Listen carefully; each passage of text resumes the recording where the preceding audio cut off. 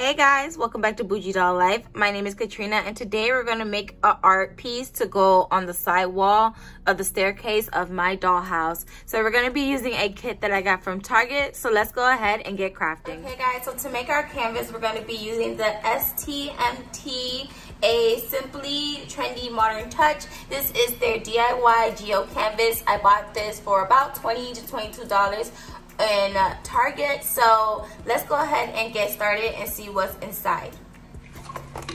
Okay, so this is how it looks once you open it up. And it has all the tools that you need to do this project. You shouldn't need any outside tools, which is great and which is the main reason why I bought this. And plus, I love the shape of the canvas. So the canvas is this really cute hexagon shape. I believe it's a hexagon. If not, I will look up the shape and correct myself right there below. So yeah, so let's go ahead and get started. So what else comes with this pack? It also comes with one blank canvas, two parts liquid resin, one pack of tempered glass, a brush for you to paint on the canvas, and it also comes with some popsicle sticks glitter and a pair of gloves, but I will be using my own gloves that I have that are black. But you can use their gloves if you don't have any gloves that's in the kit. And then it also comes with, it also comes with these three metallic acrylic paints. One is white, pink, and then this one is like a mint green. It does say in the front mint green. So let's go ahead and get started. And then it also has an instruction book. It says it's easy to follow, but we will see. So let's go ahead and get started. Okay, so the first thing we're going to do is take the acrylic paint and we're gonna go ahead and paint a geo type of design onto this canvas. So let's go ahead and start painting. That I wanted for this canvas was like a marble type of 3D look with the paint. So I'm just swirling the different pastel colors around and I really love how the colors come together.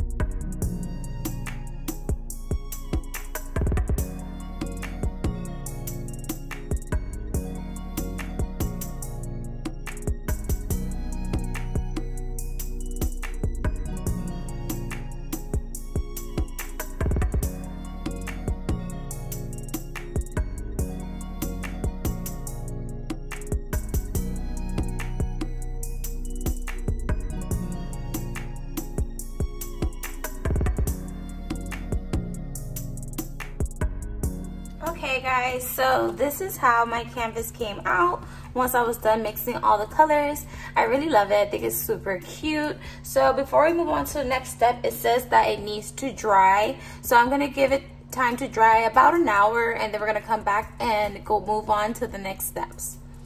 Okay guys, so this is what the canvas is looking like. So let me turn it this way because this is the way it looks facing me. So let me go ahead and add some resin. Now it said that you can add resin to the color and paint over where you painted with the resin mixed with the color. But I don't really want to do that because I like the colors kind of pastel faded. I like this look. So I'm just going to go ahead and mix a little bit of the two part resin. And then I'm going to just glide it across the canvas with the mixing sticks. These sticks are meant to be mixed with the resin and the color to mix it together and to mix the resin. And I'm going to use it just to mix the resin and spread the resin across. And then we're gonna go ahead and add the tempered glass and the glitter. So let's go ahead and decorate. I'm also using a measuring cup that I tend to not use anymore. Like they say to use disposable cups, so I'm just using this old measuring cup. I have new ones, so I'm just gonna use this and keep this in the craft room for crafts. So let's go ahead and get started. Just mixing part A of the resin and then you're going to mix part B of the resin. You're going to mix it together and then you're just going to go ahead and pour it right on top of the canvas. It's very simple and it has a real nice consistency so it won't overflow. You, you could glide it however you like and I love the fact that I had full control when I was spreading the resin across the canvas and I really liked how it came out.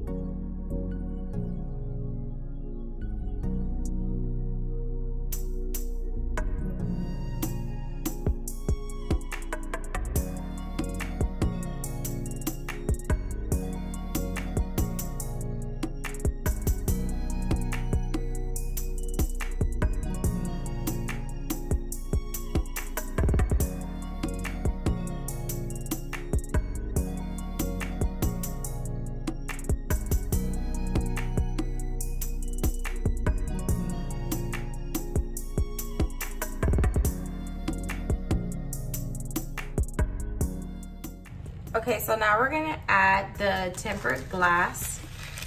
So I'm just gonna open it on the side. I'm gonna put it into my hands since I have gloves on. Remember, this is a little sharp, so be careful if you do decide to do it the way that I'm doing it. And I'm just gonna sprinkle it where I want it to be.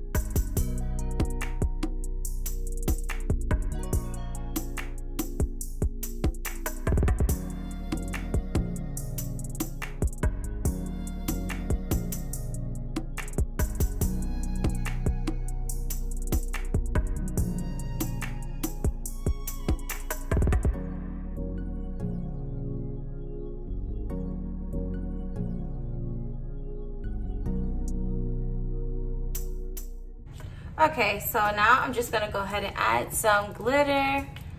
So it says that you can add resin on top of the actual stones for the sharp edges, but this is going on the wall in my dollhouse and I kind of like the 3D effect that the glass is giving the resin, so I'm going to leave it like this. So let's go ahead and add some glitter.